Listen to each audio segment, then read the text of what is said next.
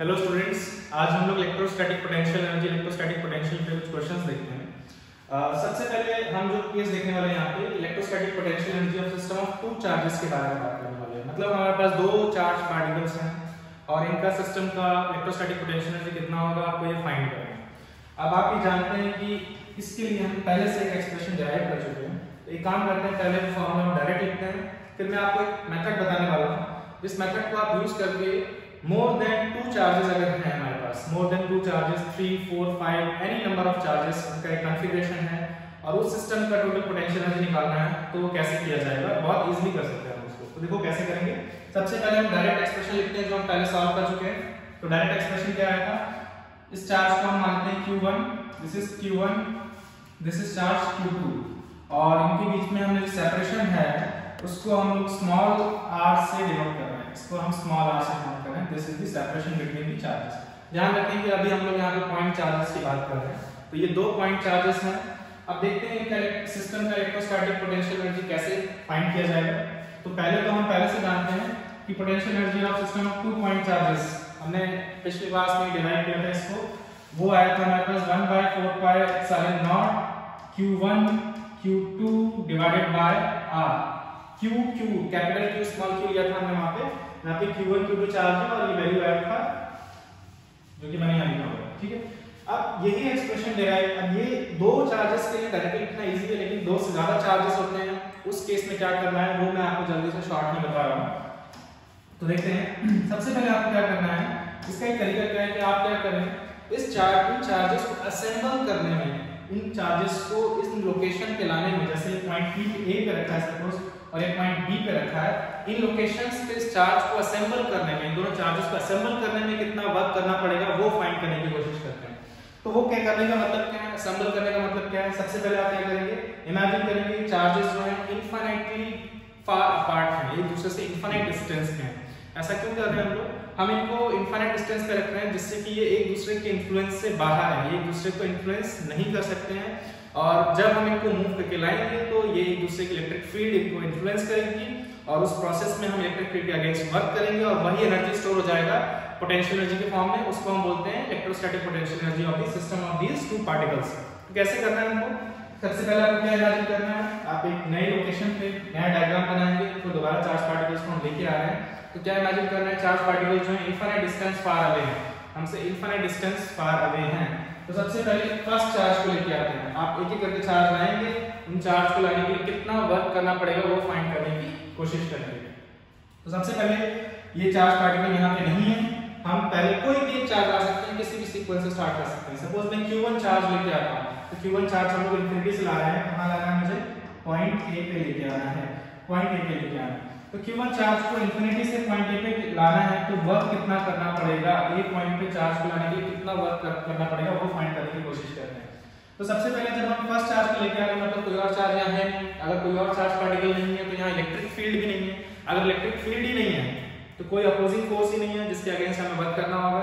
यानी charge particle को without any spending any energy हम यहाँ पे ला सकते हैं। यहाँ पे कोई इलेक्ट्रिक फ़ील्ड ही नहीं है तो हमें वर्क ही नहीं करना पड़ेगा चार्ज पार्टिकल को लाने के लिए। यानी कि यहाँ पे चार्ज पार्टिकल को, पहले वाले चार्ज पार्टिकल को लाने के लिए कोई वर्क नहीं करना पड़ेगा, कोई वर्क नहीं, क्योंकि सराउंडिंग में कोई इलेक्ट्रिक फ़ील्ड ही नहीं है। या एक और तरीके से लिखते हैं इसको जो ज़्यादा अच्छा तरीका है। जो दूसरा तरीका है वो ये है कि हम जानते हैं इलेक्ट्रोस्टैटिक पोटेंशियल के बारे में। इलेक्ट्रोस्टैटिक पोटेंशियल क्या होता है? इन्फिनिटी से किसी भी पॉइंट का, जैसे पॉइंट ए का इलेक्ट्रोस्टैटिक पोटेंशियल क्या होगा? इन्फिनिटी से यूनिट चार्ज को यहाँ तक लाने के लिए कितना वर्क करना पड़ा।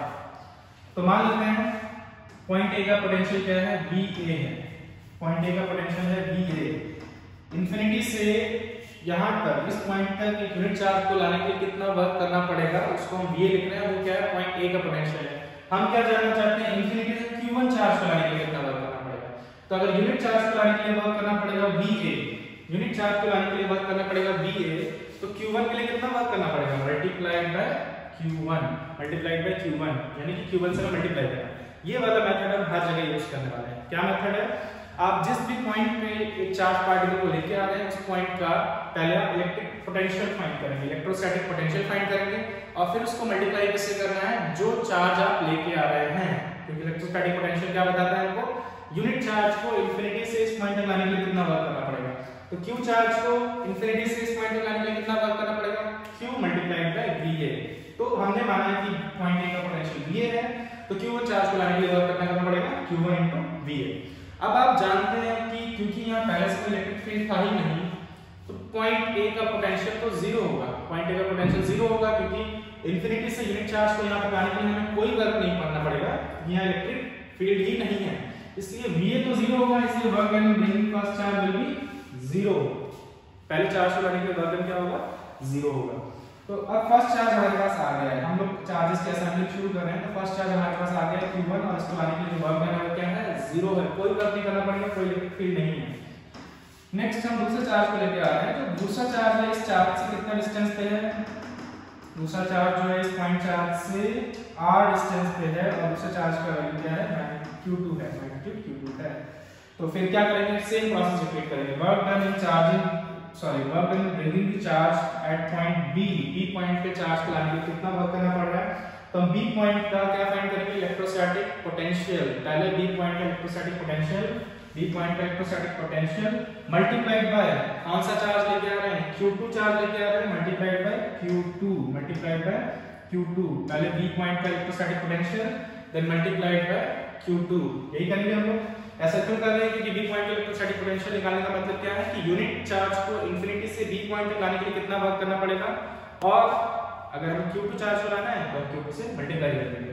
अब, इस बार जब हम बी चार्ज लेके आ रहे हैं तो पहले से यहाँ पे इलेक्ट्रिक फ़ील्ड है। किसका इलेक्ट्रिक फ़ील्ड है? Q1 चार्ज का। Q1 चार्ज यहाँ पे आ चुका है। Q1 चार्ज की इलेक्ट्रिक फ़ील्ड है।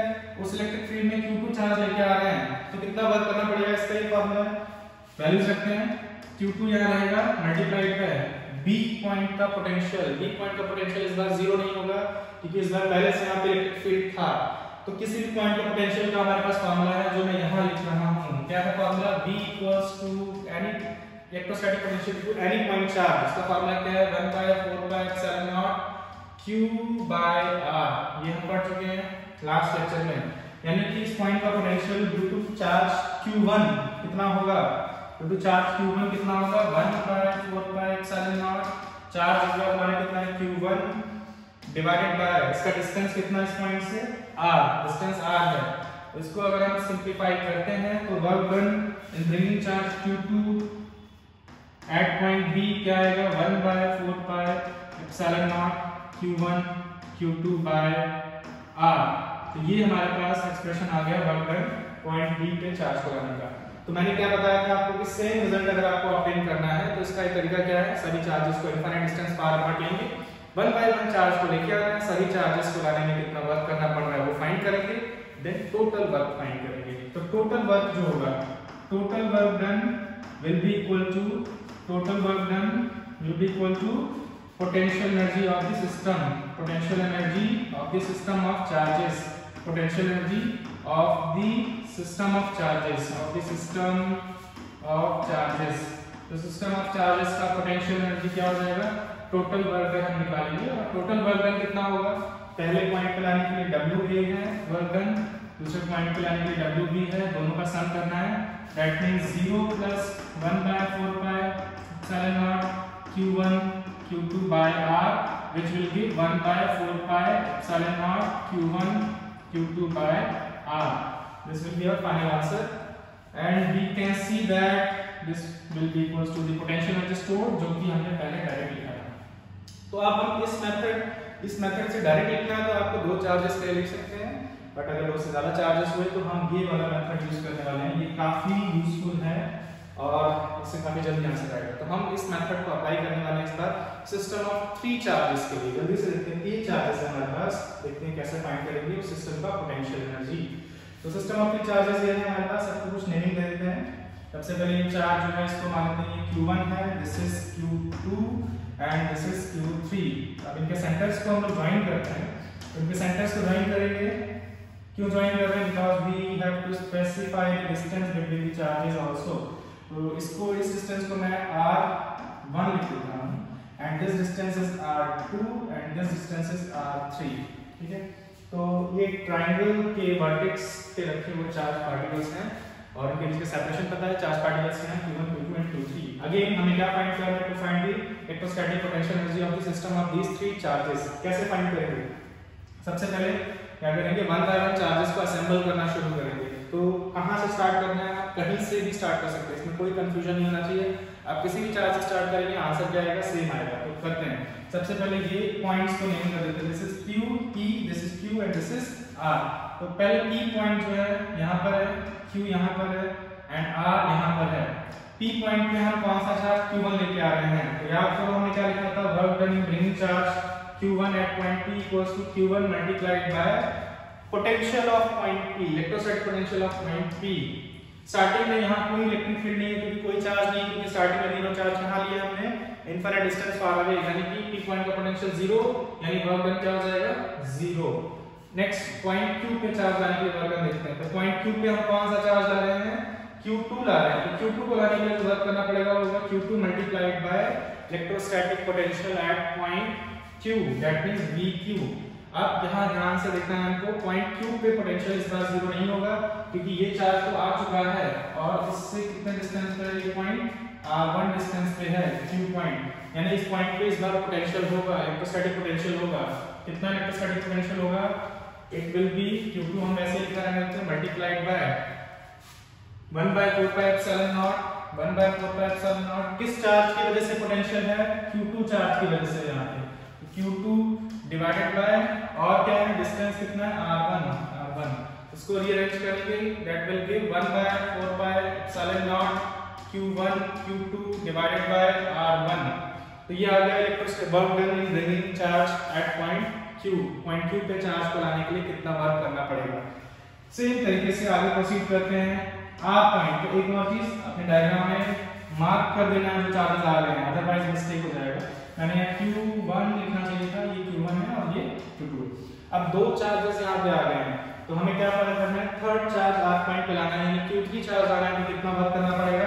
That will be equals to Q3 multiplied by potential of point R R point का इलेक्ट्रोस्टैटिक पोटेंशियल जो होगा। अब यहाँ पे हमें कुछ चीज़ें ध्यान रखनी है। मैंने एक्सप्लिसिटली अलग से आपको सुपरपोजिशन प्रिंसिपल इलेक्ट्रोस्टैटिक पोटेंशियल के केस में नहीं बताया बट आपको ये ध्यान रखना है। जिस तरह से हमने इलेक्ट्रिक फोर्स में सुपरपोजिशन प्रिंसिपल देखा था जैसे कि अगर आपको नेट फोर्स निकालना है तो आप क्या करेंगे? इंडिविजुअल चार्जेस की वजह से एक चार्ज पे फोर्स निकालते हैं और उसका वेक्टर सम करते हैं। सेम तरीके से अगर आपको एक चार्ज की वजह से पोटेंशियल निकालना है किसी पॉइंट पे, वो तो हमें पता है, लेकिन बहुत सारे चार्जेस हैं, बहुत सारे पॉइंट चार्जेस हैं, उनकी वजह से किसी पॉइंट पे पोटेंशियल निकालना है तो क्या करना है? इंडिविजुअल चार्जेस की वजह से उस पॉइंट पे पोटेंशियल क्या होगा? देन उसका सम करना है। अच्छी बात यह है कि इलेक्ट्रोस्टैटिक पोटेंशियल वर्क डन ही है, जो कि एक स्केलर क्वांटिटी है। तो आपको यहाँ पे डायरेक्शन जैसा कुछ सोचने की ज़रूरत नहीं है। सिंपल सम होगा। हाँ लेकिन साइन का ध्यान रखना है, क्योंकि वर्क डन नेगेटिव भी हो सकता है और पॉजिटिव भी। तो यहाँ तो फ़िलहाल हमने Q1 Q2 Q3 like charges लिए हैं। क्वेश्चंस में आपको साइन का भी ध्यान रखना है। आगे हम देखेंगे। तो R पॉइंट का पोटेंशियल निकालना है। तो इस बार यहाँ पे दो चार्जेस हैं। इस चार्ज की वजह से यहाँ कुछ पोटेंशियल होगा। कितना होगा? 1 by 4 pi epsilon naught q1 by ये डिस्टेंस ये डिस्टेंस हमने पहले डिसाइड किया था r3 है and this distance is r2 that will be q r3 ये हो गया potential due to point p at charge charge q1 at point r. और इसकी वजह से पोटेंशियल कितना होगा? वो इसमें हमें ऐड करना है सुपरपोजिशन प्रिंसिपल इसकी वजह से कितना होगा? 1 by 4 pi epsilon naught q2 by r q2 by r2 this is total electrostatic potential at point r. तो हमें r पॉइंट का इलेक्ट्रोस्टैटिक पोटेंशियल मिल गया। इसको यहाँ पुट करते हैं और डन कैलकुलेट करते हैं। तो कितना आएगा q3 मल्टीप्लाइड बाय ब्रैकेट में क्या लिखेंगे हम लोग? 1 by 4 pi epsilon naught q1 by r3 plus दूसरा क्या है? 1 by 4 pi epsilon naught q2 by r2 ध्यान से देखना। Q2 by r2 हमने सभी चीज़ें सही लिखी हैं। यहाँ पे कौन सा चार्ज आ गया q3 चार्ज आ गया है। r1 r2 ओके तो इसको सॉल्व करते हैं। वर्क डन क्या आएगा? In bringing charge q3 at point r will be हम इसको अंदर मल्टीप्लाई कर सकते हैं। That will be 1 by 4 pi epsilon naught q1 q3 by r3 plus 1 by 4 by epsilon naught q2 q3 by r2 ठीक है? ये आ गया work done ring charge at point r ये था हमारा वर्क q वाला और ये था वर्क हमारा p वाला। तो फिर मैंने क्या बताया था? सिस्टम पोटेंशियल एनर्जी क्या होगा? इन सभी वर्ग का अलजेब्रिक सम अलजेब्रिक सम करने का मतलब साइन स्किप नहीं करना है। फ़िलहाल तो लाइक चार्जेस हैं। अगर अनलाइक होते तो साइन भी आते प्लस माइनस उनको भी कंसीडर करना है। तो ऐड करते हैं। Total potential energy of the system of these three charges will be equals to work done in bringing charge at point P plus work done in bringing charge at point Q and work done in bringing charge at point R सबका sum करेंगे 0 plus 1 by 4 pi epsilon naught q1 q2 by r1 plus next क्या है 1 by 4 pi epsilon naught q1 q3 by r3 plus 1 by 4 pi epsilon naught q1 sorry q2 q3 by r2 okay इसमें से common ले सकते हैं हम लोग one by four पर seven naught that will give Q one Q two by R one मैं ये कम पहले लिख रहा हूँ क्योंकि R one R two R three sequence बनेगा और कोई रीजन नहीं फिर आएगा Q two Q three by R two then Q one Q three by R three so this is the total potential energy of this system system का total potential energy हमें यहाँ पे मिल गया। ठीक आप इस फॉर्मूले को डायरेक्ट भी याद कर सकते हैं बट जब क्वेश्चन आएँगे, आप उस समय भी इसको अप्लाई कर सकते हैं मेथड को, क्योंकि ये फार्मूला से कौन से केस में वर्क करेगा? जब चार्ज चार्ज पार्टिकल्स हैं, ठीक है? तो हम आगे चलते हैं। एक और डिफरेंट केस हम देखने वाले हैं। वो डिफरेंट केस क्या है? आपने ये नोटिस किया है कि फ़र्स्ट चार्ज को लाने के लिए हमें कोई वर्क नहीं करना पड़ा। तो फ़र्स्ट चार्ज को लाने के लिए कोई वर्क इसलिए नहीं करना पड़ा, क्योंकि पहले से यहाँ पे कोई इलेक्ट्रिक फ़ील्ड नहीं था। तो सपोज़ सर ये चार्ज पार्टिकल्स जो हैं ये तीन या चार या जितने भी दो या चार पार्टिकल्स पहले से अगर इलेक्ट्रिक फ़ील्ड है, उसमें रखे हुए हैं तो केस थोड़ा चेंज होगा वही हम देखने वाले हैं। तो क्या देखने वाले हैं हम लोग? ये सभी जो इलेक्ट्रिक फील्ड्स थी, वो इन्हीं चार्ज पार्टिकल्स की वजह से वजह से थी, और उनको हम लोग इंटरनल इलेक्ट्रिक फील्ड्स बोल सकते हैं। ऐसा भी हो सकता है कि पहले से इलेक्ट्रिक फ़ील्ड है और उसमें हम चार्ज पार्टिकल को लेके आ रहे हैं। तो पहले से इलेक्ट्रिक फ़ील्ड है और आप चार्ज पार्टिकल को लेके आ रहे हैं। तो जो वर्क डन है वो, पहले चार्ज पार्टिकल के लिए ज़ीरो नहीं होगा। तो वैसा हम एक सिंपल केस देख रहे हैं जिससे कि अगर वैसा कोई क्वेश्चन आता है तो उस पॉइंट को आप ध्यान रखेंगे। तो वो क्वेश्चन उस टाइप का केस क्या है? उस केस को हम कैसे बोल सकते हैं? Electrostatic potential energy of system of two charges in an electric field पहले से इलेक्ट्रिक फ़ील्ड में तो जो मैंने यहाँ रिप्रेजेंट नहीं किया, उसको मैं यहाँ पर रिप्रेजेंट कर देता हूँ। ये चार्ज पार्टिकल पहले से जो है यहाँ पर एक इलेक्ट्रिक फ़ील्ड में है। मान लेते हैं वो इलेक्ट्रिक फ़ील्ड इस तरह से है। अच्छा इलेक्ट्रिक फ़ील्ड को एक्चुअली मैं यहाँ दिखाता नहीं हूँ अच्छा रहेगा वो इलेक्ट्रिक फ़ील्ड यूनिफॉर्म भी हो सकती है नॉन यूनिफॉर्म भी हो सकती है। तो यहाँ पर बस इलेक्ट्रिक फ़ील्ड है, ये ध्यान रखना है, बस मैं यहाँ पे ई e वेक्टर करके लिख रहा हूँ। यहाँ पे इलेक्ट्रिक फ़ील्ड है, जो यूनिफॉर्म भी हो सकती है नॉन यूनिफॉर्म भी। और चार्ज पार्टिकल्स क्या है? पहला चार्ज पार्टिकल Q1 है और दूसरा चार्ज पार्टिकल Q2 है। इनके बीच में जो सेपरेशन है, वो कितना है? सेपरेशन इनके बीच में, लेते हैं हम लोग, जैसे हम लास्ट टाइम किया था स्मॉल आर स्मॉल आर इनके बीच में क्या है? सेपरेशन हो गया। अब देखते हैं कि इस सिस्टम का टोटल इलेक्ट्रोस्टैटिक पोटेंशियल एनर्जी क्या होगा? सिस्टम का टोटल इलेक्ट्रोस्टैटिक पोटेंशियल एनर्जी क्या होगा? इसका मतलब हम जानना चाहते हैं कि इनको असेंबल करने में कितना एनर्जी रिक्वायर्ड है। ठीक है तो ये कौन सी इलेक्ट्रिक फ़ील्ड है जो हमने यहाँ लिखी है? This is external electric field electric field external electric field पहले से जो यहाँ पे इलेक्ट्रिक फ़ील्ड है, वो ये ठीक है फाइंड करते हैं। कैसे करेंगे? सबसे पहले हम क्या करेंगे? सभी चार्जेस को हटाते हैं यहाँ से, सभी इनफाइनाइट पार में। लेकिन इलेक्ट्रिक फ़ील्ड अभी भी है। एक्सटर्नल इलेक्ट्रिक फ़ील्ड एग्जिस्ट पहले से यहाँ पे इलेक्ट्रिक फ़ील्ड है, इस पॉइंट को ए ले लेते हैं, इस पॉइंट को बी तो एक पॉइंट पे अगर हम चार्ज पार्टिकल लेके आ रहे हैं मतलब इस लोकेशन पे चार्ज पार्टिकल लेके आते हैं तो कितना वर्क करना पड़ेगा, वो फाइंड करने की कोशिश करते हैं। कौन सा चार्ज लोकेशन क्या? है ए और क्यू चार्ज को लेके आ रहे हैं। तो हम लिखेंगे work done bringing the charge point at A कौन सा चार्ज लेके आ रहे हैं? Q1 Q1 चार्ज लेके आ रहे हैं। इंफिनिटी से लेके आ रहे हैं तो हमें उस पॉइंट का पोटेंशियल चाहिए होगा it will be equal to q1 multiplied by potential of point a. A point का पोटेंशियल इस बार ज़ीरो नहीं होने वाला है। A पॉइंट का पोटेंशियल ज़ीरो क्यों नहीं होने वाला है? Because it is already in an electric field तो पहले से इलेक्ट्रिक फ़ील्ड में है तो इसीलिए इस पॉइंट का पोटेंशियल ज़ीरो नहीं होगा। इसको फ़िलहाल मैं VA लिख रहा हूँ सिर्फ़ VA इस पॉइंट का पोटेंशियल VA है। इस पॉइंट का पोटेंशियल हमें पता कैसे चलेगा? जब तक हमको इलेक्ट्रिक फ़ील्ड के बारे में इंफॉर्मेशन नहीं दी जाएगी, हम नहीं बता सकते। तो हम एक जनरल केस देखते हैं सपोज़ इलेक्ट्रिक फ़ील्ड V है तो इस पॉइंट का पोटेंशियल फ़िलहाल पे क्या लिखा है? VA VA तो वर्क डन जो है, इस बार ज़ीरो नहीं होगा, क्योंकि because VA is not equal to zero due to presence of another electric field due to presence of another external electric field पहले से इलेक्ट्रिक फ़ील्ड के प्रेजेंस की वजह से इस पॉइंट का पोटेंशियल ज़ीरो नहीं हुआ, क्योंकि हम उस चार्ज को लेके आएँगे। यूनिट चार्ज पर इलेक्ट्रिक फ़ील्ड में तो हमें वर्क करना पड़ेगा। नेक्स्ट जो है, हम क्या करने वाले हैं? पॉइंट बी को लेके आने वाले हैं। तो पॉइंट बी जो यहाँ से कितना डिस्टेंस पे है? पॉइंट बी इस यहाँ से आर डिस्टेंस पे है। आर डिस्टेंस पे है। ठीक है? तो work done in bringing charge at point B will be equals to कौन सा चार्ज लेके आ रहे हैं? Q2 तो charge q2 multiplied by potential at point b point b का पोटेंशियल से भी मल्टीप्लाई करें अब यहाँ पे ध्यान रखना है कि पॉइंट b का जो पोटेंशियल है, वो एक तो इस चार्ज की वजह से होगा, क्योंकि ये चार्ज q1 यहाँ पे आ गया है बट इसके अलावा पॉइंट b जो है, वो पहले से एक इलेक्ट्रिक फ़ील्ड वहाँ पे है। उस इलेक्ट्रिक फ़ील्ड की वजह से भी पोटेंशियल होगा। जैसे यहाँ पे पहले से इलेक्ट्रिक फ़ील्ड की वजह से था। तो हम इसको दो पार्ट्स में डिवाइड कर सकते हैं। Q2 multiplied by potential at B due to Q1 ऐसे लिखा हमने plus potential at B due to external electric field E लिख देते हैं जिससे यहाँ पे भी लिख देता हूँ मैं आपको कंफ्यूजन नहीं होगा।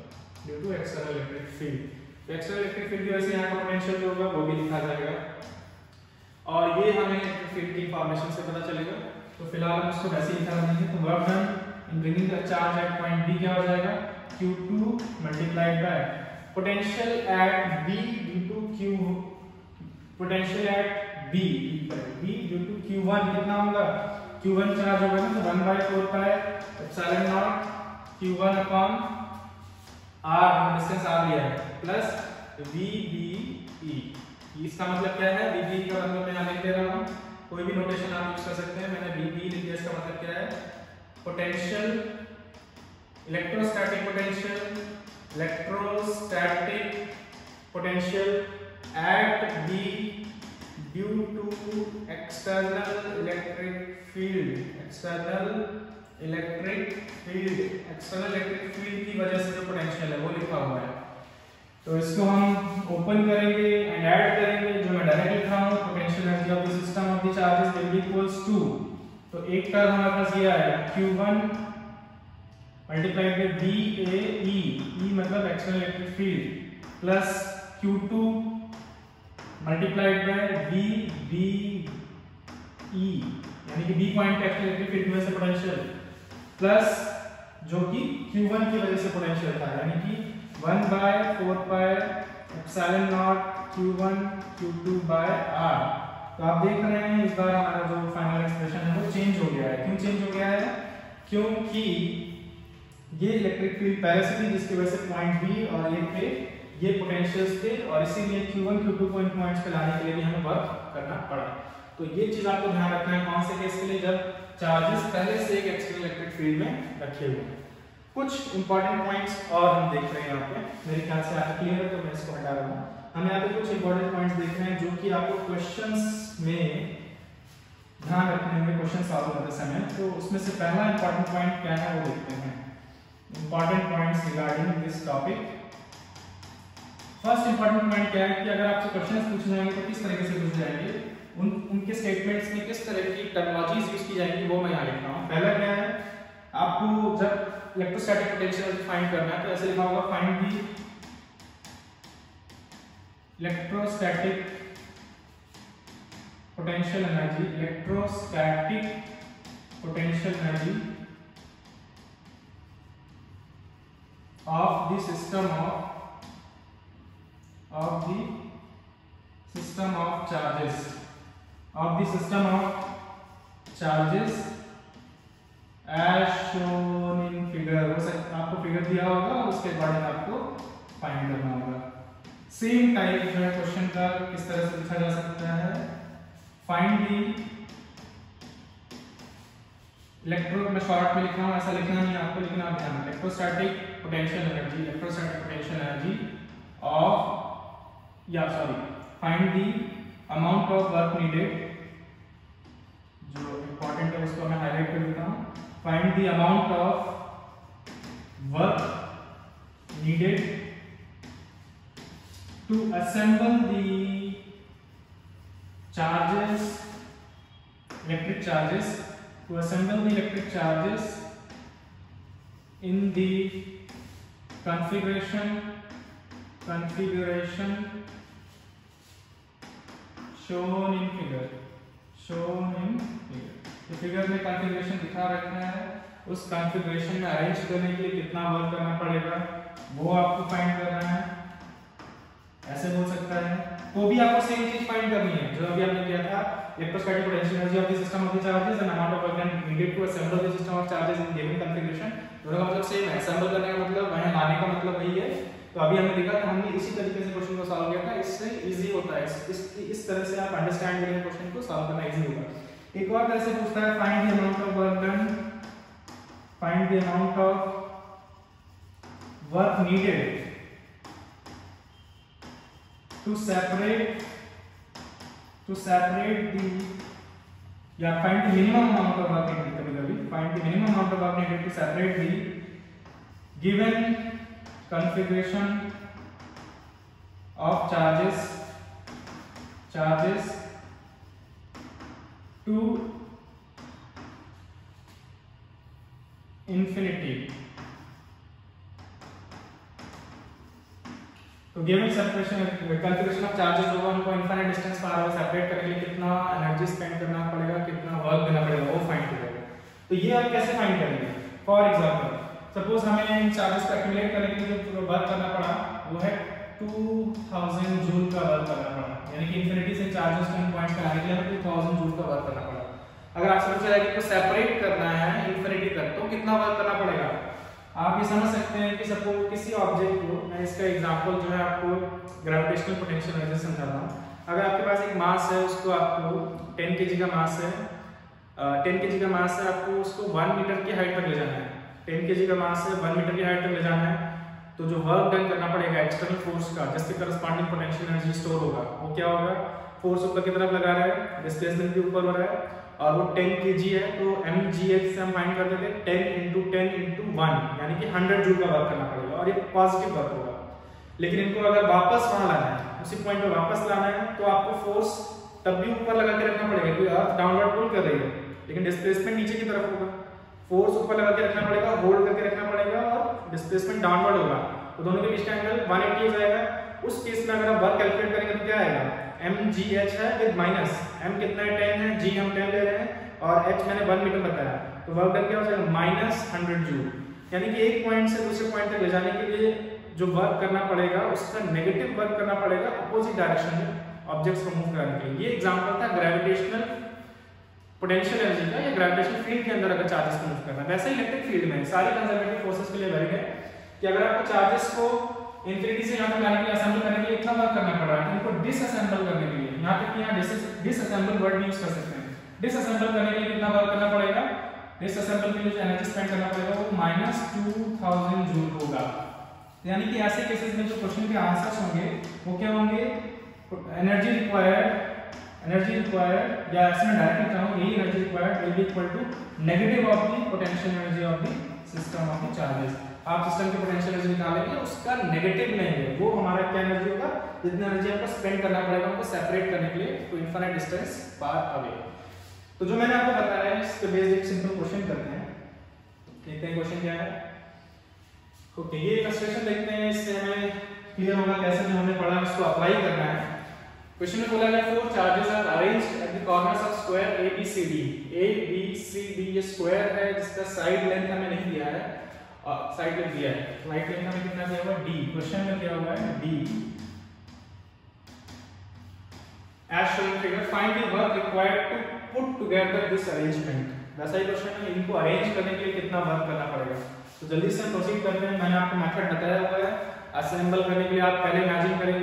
ये सब इनफाइनाइट डिस्टेंस पार अवे हैं और वन बाय वन सबको लेके आना है। और एक सिंपल डायग्राम साथ में बनाते रहेंगे तो अच्छा रहेगा। तो पहला पॉइंट मेरा ए पहला पॉइंट जो है हमारा यहाँ पे ए हो गया। पॉइंट्स मार्क कर लेते हैं। ए मैं छोटा डायग्राम बना दे रहा हूँ इसके लिए। B C and D charges plus Q minus Q plus Q minus Q sign का ध्यान रखना। देखते हैं। सबसे पहले हम पॉइंट ए पे चार्ज को लेके आ रहे हैं। क्या यहाँ पे कोई एक्सटर्नल इलेक्ट्रिक फ़ील्ड है? कोई एक्सटर्नल इलेक्ट्रिक फ़ील्ड यहाँ पे नहीं है। कोई एक्सटर्नल इलेक्ट्रिक फ़ील्ड नहीं है यहाँ पे। तो यहाँ पे जब हम चार्ज ए को लेके आएँगे, यानी प्लस क्यू चार्ज लेके आएँगे तो work done beginning charge A will be equals to q multiplied by potential of charge A, that will be equal to zero same process point A का पोटेंशियल क्या होगा? Zero because there is no other electric field in this region फिर हम क्या करने वाले हैं? Point B पे आते हैं। मैंने आपको बताया था, किसी भी ऑर्डर में मूव कर सकते हैं, कोई प्रॉब्लम नहीं। तो पॉइंट बी पे जब आएँगे, हम लोग किस चार्ज को लेकर आ रहे हैं? माइनस क्यू को। यहाँ पे ध्यान रखना है माइनस क्यू चार्ज को लेकर आ रहे हैं साइन रखना है। तो वर्क करेंगे bringing charge at point B will be equals to charge क्या है? Minus Q multiply by potential at point B point B का पोटेंशियल पॉइंट बी का पोटेंशियल कितना होगा? पॉइंट बी का पोटेंशियल इस चार्ज की वजह से इस चार्ज का, इस पॉइंट से डिस्टेंस कितना है? D लिखा हुआ है। तो वो हम कैसे लिखेंगे? 1 बाय माइनस क्यू रहेगा, साथ में क्या लिखेंगे हम लोग? 1 by 4 pi epsilon naught q, वो पॉजिटिव चार्ज है डिवाइडेड बाय डिस्टेंस कितना है? d. इसको रीअरेंज करने पे ये स्क्वायर हो जाएगा। तो 1 by 4 pi epsilon naught q square by d with a minus minus को मिस नहीं करना है। आगे चलते हैं। अब ये चार्ज भी यहाँ पे आ गया है ए डिस्टेंस पे। नेक्स्ट सपोज़ हम सी पॉइंट पे चार्ज को लेके आ रहे हैं? कौन सा चार्ज लेके आया जाएगा यहाँ पे? प्लस क्यू चार्ज है सी पॉइंट पे। तो कैसे लिखेंगे वर्क करेंगे meaning charge at point C equals to charge है plus Q? Multiplied by potential of point C point C का पोटेंशियल हम vc लिख देते हैं। तो plus Q multiplied by point C का पोटेंशियल कैसे लिखेंगे? यहाँ पे दो चार्ज पार्टिकल्स हैं। ध्यान रखना है, दो चार्ज पार्टिकल्स पहले से हैं। इसकी वजह से यहाँ पोटेंशियल होगा और इसकी वजह से भी यहाँ होगा। तो इसके लिए ये डिस्टेंस कितना है? D है। और ये डिस्टेंस फाइंड करना होगा हमको। तो क्लियरली राइट एंगल ट्रायंगल बन रहा है।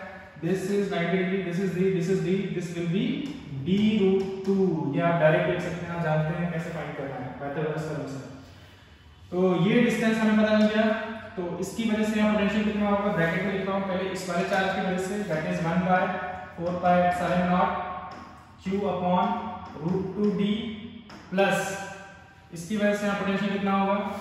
साइन का ध्यान रखना, ये नेगेटिव चार्ज है। 1 by 4 pi epsilon naught minus q by d minus q by d sign का ध्यान रखेंगे ठीक है? इसको रीअरेंज करते हैं क्या आ जाएगा, देखते हैं। स्क्वायर हो जाएगा। 1 बाय 4 पाई एप्सिलॉन कॉमन ले लेते हैं। 1 by 4 pi epsilon naught multiply में क्या आएगा? मल्टीप्लाई d भी हम कॉमन ले सकते हैं, दोनों में d है तो d भी कॉमन ले लेते हैं। मल्टीप्लाई में जाएगा q square minus q square पहले तो हमारे पास q स्क्वायर रहेगा और ये रूट टू को मिस नहीं करना है। Root divided by root two minus q square ये आ जाएगा, ठीक है? ये तो हो गया b, c के लिए। अब b पे हम चार्ज लेके आ रहे हैं। तो ये और भी कॉम्प्लेक्स होता जा रहा है। कैसे? क्योंकि अब हमारे पास तीन चार्ज पार्टिकल पहले से हैं। तो work done bringing charge at point d equals to d point पे चार्ज कितना माइनस q यहाँ लिखेंगे minus q multiplied by d point का पोटेंशियल को vd लिख रहे हैं और इसकी वैल्यू पुट करते हैं माइनस q ब्रैकेट लगाएँगे। तीन चार्जेस की वजह से पोटेंशियल होगा। तो पहले इसकी वजह से यहाँ पे डिस्टेंस कितना है? D है। तो कितना हो जाएगा? 1 by 4 pi epsilon naught q upon d. Positive charge है रखिए प्लस नेक्स्ट इस चार्ज की वजह से यहाँ पोटेंशियल कितना होगा? सेम क्योंकि डिस्टेंस कितना है? D है। कितना आएगा? 1 by 4 pi epsilon naught q by distance कितना है? D इस चार्ज की वजह से पोटेंशियल के लिए आपको डिस्टेंस का ध्यान रखना है। इस बार डिस्टेंस कौन सा ये वाला लिया जाएगा? डिस्टेंस जो है, कौन सा लिया जाएगा? ये डायगोनल वाला डिस्टेंस ये डिस्टेंस और ये डिस्टेंस कितना होगा? वही d d रूट टू जो आप फाइंड कर सकते हैं पाइथागोरस थ्योरम से। तो इसके लिए जो एक्सप्रेशन आएगा, ये माइनस का भी ध्यान रखना है। Plus 1 by 4 pi epsilon naught charge इस माइनस है divided by d root two ये कंप्लीट हो गया। अच्छा इसको हम जल्दी से सिंपलीफाइड वे में लिखते हैं, क्या क्या कॉमन आएगा इसमें देखते हैं। 1 by 4 pi epsilon naught common आ गया, ये माइनस के अंदर सेंड करते हैं तो 1 by 4 pi epsilon naught common आ गया, d भी कॉमन आ जाएगा सब में से कॉमन आ जाएगा माइनस के अंदर जाएगा, यहाँ क्या आएगा minus q square minus q square minus q square और उसके बाद ये q यहाँ भी मल्टीप्लाई होगा तो ये प्लस q स्क्वायर आ जाएगा। Plus q square by root 2 को मिस नहीं करना है यहाँ पे। बाय रूट टू ये आगे हमें सभी पॉइंट्स पे चार्जेस को आ गए अब टोटल वर्क निकालना है हमको टोटल वर्क निकालते हैं हम लोग टोटल वर्क डन यही हमारा सिस्टम का क्या होगा? पोटेंशियल एनर्जी यानी कि work done bringing charge at A bringing charge at B bringing charge at C plus bringing charge at D तो मैं डायरेक्ट करता हूँ। सब में मुझे कुछ चीज़ें कॉमन दिखाई दे रही हैं। और वो कॉमन चीज़ें क्या है? 1 बाय 4 का epsilon q square by d अगर आप देखें, यहाँ से q स्क्वायर भी कॉमन आएगा और इसमें से भी q स्क्वायर कॉमन आएगा और ये तो ज़ीरो है। सब में से कॉमन क्या है? 1 by 4 pi epsilon naught Q square by D bracket लगाते हैं। ये तो ज़ीरो था। इसमें से क्या? माइनस वन रह जाएगा। माइनस वन यहाँ रह जाएगा। इसमें से कॉमन लेने क्या बचेगा? Plus one by root two minus one यहाँ पे भी बचेगा। अगर आप कॉमन लेते हैं डी यहाँ तरह से बाहर था। इसमें से कॉमन लेते हैं क्या बचेगा? क्यू स्क्वायर गया तो माइनस वन माइनस वन और plus one by root two तो ये हमारे पास एक्सप्रेशन आ जाएगा। तो यहाँ पे ये माइनस थ्री और माइनस फोर हो गया है। तो फाइनल हमारे पास आंसर क्या है one by four by epsilon naught Q square by D minus four plus one by root two ये हमारा क्या हो गया है? फाइनल आंसर ये हमारा फाइनल आंसर है। For total potential energy of this configuration total potential energy of this configuration तो मेरे ख्याल से एग्जांपल से आपको समझ में आया होगा कैसे हमें पढ़ा, इसको अप्लाई करना है। एक काम करते हैं सेकंड जो बिट है, ये भी ले लेते हैं charge q naught is brought to the centre e of the square centre e पे q नॉट चार्ज लाया गया है और बाकी चार्जेस यहाँ फिक्स्ड है। How much extra work is needed to do this तो q नॉट चार्ज को इस पॉइंट तक लेके आना है तो हमें कितना वर्क करना पड़ेगा? कितना वर्क करना पड़ेगा? मतलब ये चार्जेस यहाँ पे पहले से हैं और q नॉट एक चार्ज लेके आए हैं। तो हमें एक्स्ट्रा और जो वर्क करना पड़ेगा, q नॉट चार्ज लाने के लिए, वो कितना होगा? ठीक है, वो भी फाइंड करते हैं हम लोग। इसके लिए आप क्या करेंगे, किसी भी यहाँ पे जो चार चार्जेस हैं, उनकी वजह से यहाँ पे क्या होगा इलेक्ट्रिक फ़ील्ड होगा। ये चार चार्जेस जो यहाँ पर हैं, इनकी वजह से यहाँ पे इलेक्ट्रिक फ़ील्ड होगा। और इलेक्ट्रिक फ़ील्ड में हम लोग क्यू नॉट चार्ज को लेके आ रहे हैं। अगर आप इलेक्ट्रिक फ़ील्ड में क्यू नॉट चार्ज को लेके आ रहे हैं तो आपको वर्क डन कैसे निकालेंगे? तो work done in bringing charge at E will be equals to Q naught multiplied by multiplied by अब आपको ये पता चल जाना चाहिए हमें क्या करना है। Potential of point E E point का पोटेंशियल निकालना है। ई पॉइंट का पोटेंशियल निकालने का मतलब क्या है? कि यूनिट चार्ज को इंफिनिटी से इस पॉइंट तक लाने के लिए कितना वर्क करना पड़ेगा in presence of these four charges तो जल्दी से करते हैं. Q naught multiplied by ve यहाँ पे चार चार्जेस की वजह से पोटेंशियल होगा. किन किन चार्जेस की वजह से? Charge at a charge at b charge at c and charge at d. ये पहला डिस्टेंस हो गया. तो ये डिस्टेंस कितना होगा? ये d रूट 2 का भी हाफ़ होगा. क्योंकि तो ये पूरा d रूट 2 का उसका हाफ़ ये डिस्टेंस कितना होगा? This will be d root 2 by 2 This is also d root 2 by 2 and this distance is d root 2 by 2. तो सबसे पहले पॉइंट ए की वजह से पोटेंशियल कितना होगा वो लिखते हैं। तो पॉइंट ए की वजह से, जो पोटेंशियल पॉइंट चार्ज ए की वजह से, इसकी वजह से पोटेंशियल होगा 1 by 4 pi epsilon naught q positive charge divide by distance कितना है? D रूट 2 बाय 2 प्लस उसकी वजह से देखते हैं, अब वहाँ मैं डायरेक्ट माइनस लगा रहा हूँ क्योंकि नेगेटिव चार्ज है तो माइनस आएगा। Minus one by four by epsilon naught Q by D root two by two next इस चार्ज की वजह से minus one by four by epsilon naught Q by minus Q लगाया? क्योंकि चार्ज यहाँ पे है। Negative charge D root two by two और एक पॉजिटिव चार्ज है डिस्टेंस सेम है।